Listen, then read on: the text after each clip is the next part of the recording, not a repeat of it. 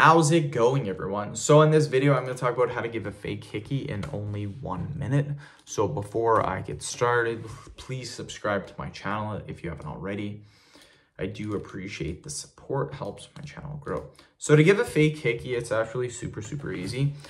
So all you need to do to give a fake hickey, this works anywhere on the body, is to get a little bit of skin and then all you're gonna do is get, give it a little pinch and then twist like this. So just like this and twist.